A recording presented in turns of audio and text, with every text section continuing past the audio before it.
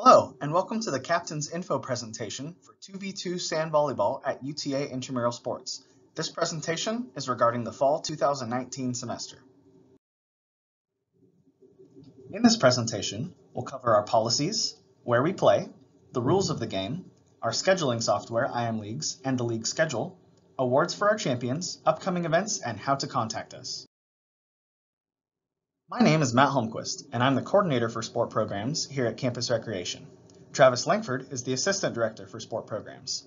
You will be interacting mostly with our student officials, the student supervisors, and the student program assistants, who is the highest level of management on any given night of activities. If you need to contact us, you can do so at imsports at uta.edu. Our website is uta.edu slash intramural sports. You can find links to our rules, handbook, policies and procedures, as well as other events that are going on at Campus Recreation. IMLeagues is our scheduling software that we'll talk about. The rules in the handbook can also be found on IMLeagues. Eligibility to play intramural sports is available to current UTA students, faculty and staff that have a MAC membership, and Campus Recreation membership holders. All of these are allowed to participate in intramural sports activities. Alumni must have a membership to play. All players are required to check in with the ID checker before the game. If you don't have your ID, you cannot play that night. Two Campus Recreation membership holders are allowed on a team, maximum. The MAC members must show proof of membership to play.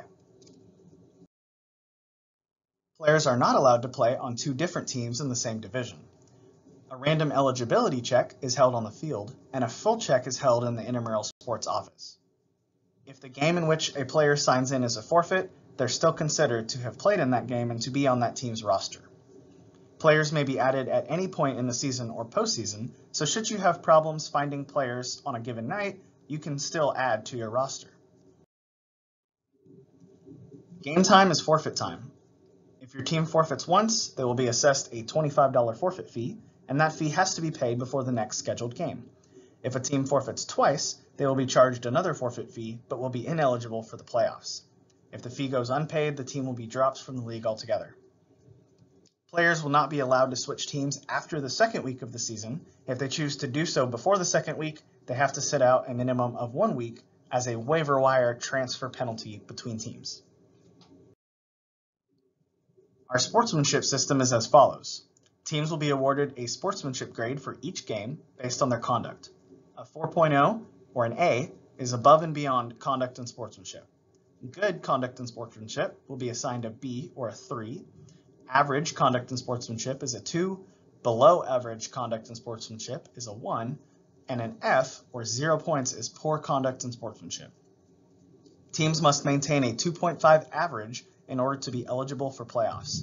And once in the playoffs, a team must maintain that 2.5 average in order to remain in the playoffs. The way our structure works in the playoffs is that every team makes the playoffs except for those that don't qualify because of sportsmanship or forfeit.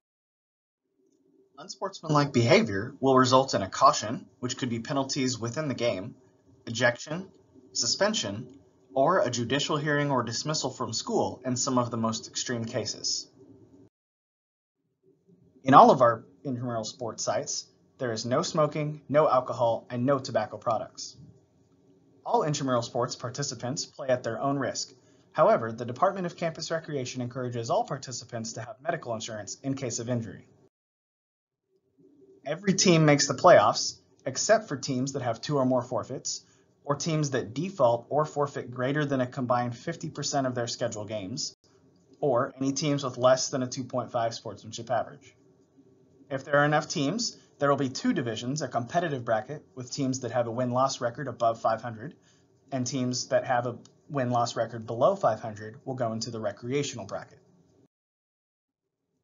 During playoffs, the scheduling is done online, and the priority of selection has to do with the standings, the seed during the regular season. That's decided primarily by win-loss record, and a tiebreaker will be sportsmanship, and then which team has more forfeits or defaults, if they've played head-to-head, -head, and finally our last tiebreaker is points against. Unfortunately, it is impossible to ensure that every team plays at their usual time so be prepared to play on a day time that is not unusual. We don't reschedule games. Remember, you can still add players all the way through the championship game. We will be playing sand volleyball at the Maverick Activity Center, located at 500 West Nedderman Drive. We're at the sand volleyball courts, which is out by the outdoor basketball courts. For sand volleyball, two players for each team are required to start the game. Divisions will exist for men's, fraternity, sorority, co-rec, and res hall. Players can play barefoot out on the sand courts, but no combat boots or hiking boots, anything hard like that can be worn. Tennis shoes or sandals can be worn if teams elect. However, there is no jewelry allowed while playing sand volleyball. Each match will be one game. The scoring style will be rally scoring, which means that a point will be scored on each serve regardless if you're the serving team or not. The first team to score 25 points, win by two, or a 30 point cap will be declared the winner. Each match has a time limit of 25 minutes. If the match is not complete when the time expires, the team with the most points will win the match. At the beginning of the game, a coin toss or rock, paper, scissors will determine which team receives the choice of first serve, or they can choose the side of the court for the beginning of the match. We'll switch sides when the total number of points in the match scored is a multiple of 10. So if the score is 7 to 3, then 10 points have been scored, we'll switch. Same thing with 5 and 5, 10 and 0. With sand volleyball on 2v2, teams must rotate servers after a side out. Teams will also self-officiate. In case of a dispute, an intramural sports supervisor will be present to mediate. If the decision is obvious, the supervisor might make a ruling on the play. If the decision is not obvious, the supervisor may suggest a replay of the point. Teams will play two games per week, and they'll be on Mondays or Thursdays, depending on which division you signed up for. We'll notify all players via IM Leagues if the game is canceled due to weather. You can also follow us on social media, and we'll post there. At UTA IM Sports on Twitter is one of our primary ways of communicating. Please ensure that all players are on the roster before the first game, because this year, intramural sports staff will not be adding players to the roster on site.